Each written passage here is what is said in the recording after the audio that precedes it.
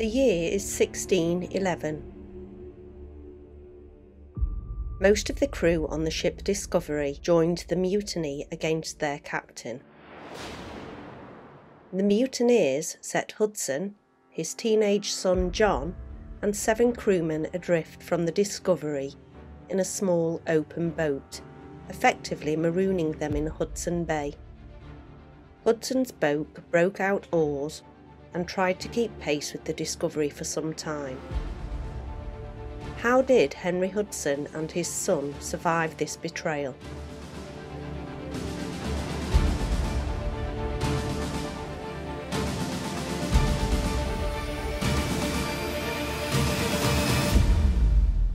With Christopher Columbus's discovery of new lands across the ocean to the west, young men were attracted to rumours of adventure, glory, and wealth. Balboa was the first known European to see the Pacific Ocean, which he named the South Sea. Magellan led the 1519 Spanish expedition to the East Indies across the Pacific Ocean to open a maritime trade route, during which he discovered the interoceanic passage bearing thereafter his name and achieved the first European navigation from the Atlantic to Asia. Sir Francis Drake was the first English explorer to circumnavigate the world using the Magellan Strait and crossing the Pacific Ocean. Explorers searched with increasing effort for a passage from the northern tip of the world as well. Company of Merchant Adventurers to New Lands was founded in 1551 by Richard Chancellor, Sebastian Cabot, and Sir Hugh Willoughby, who decided to look for northeast passages to China. The first expedition of the Company of Merchant Adventurers was led by Willoughby, who was chosen for his military leadership skills. Chancellor would function as the navigator of the small fleet, which consisted of three ships. The fleet departed from London on the 10th of May, 1553, but near the Lofoten Islands a storm hit the ships and separated Chancellor's vessel from the other two. Willoughby eventually crossed the Barents Sea and reached Novaya Zemlya. He spent some time sailing along the coast, then turned south towards Scandinavia. However, at the mouth of the Varzina River, the ship became trapped in ice. Willoughby and his crew were found a few years later by Russian fishermen who stumbled across the ship frozen in ice.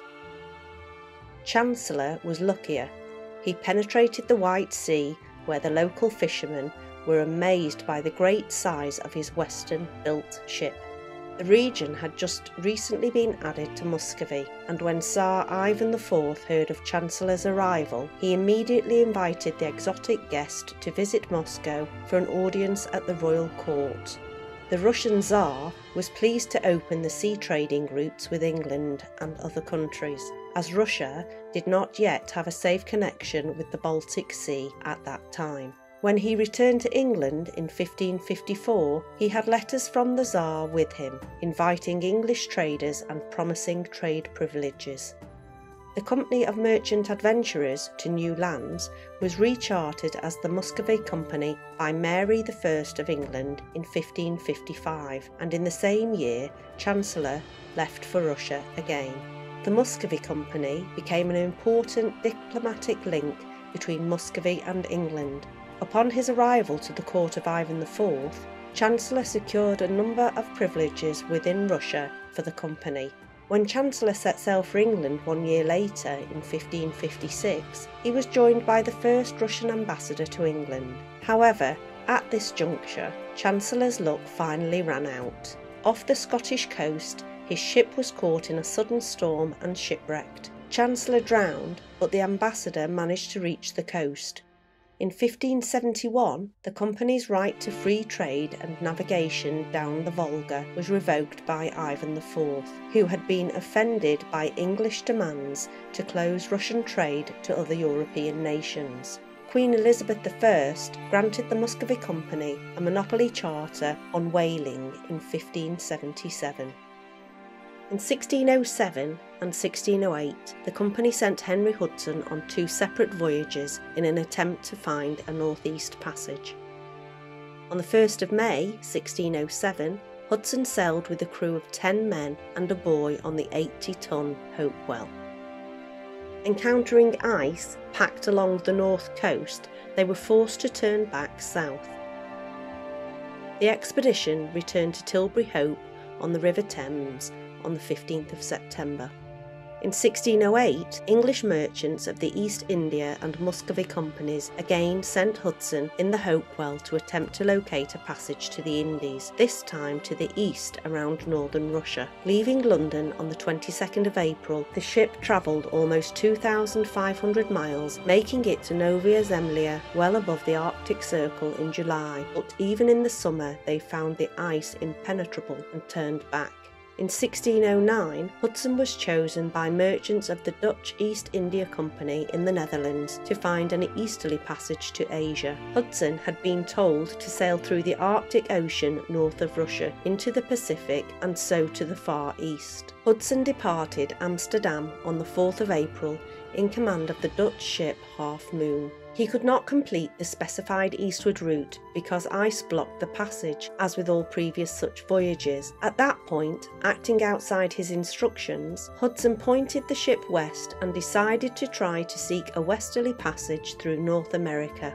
They reached the entrance of the Chesapeake Bay. Hudson sailed into the upper New York Bay on the 11th of September and the following day encountered a group of 28 Lenape canoes, buying oysters and beans from the Native Americans, and then began a journey up to what is now known as the Hudson River. Over the next 10 days, his ship ascended the river, reaching a point near Stuyvesant Landing, and the ship's boat, with five crew members, ventured to the vicinity of the present day Albany. On the 23rd of September, Hudson decided to return to Europe. His voyage was used to establish Dutch claims to the region. New Amsterdam on Manhattan Island became the capital of New Netherland in 1625.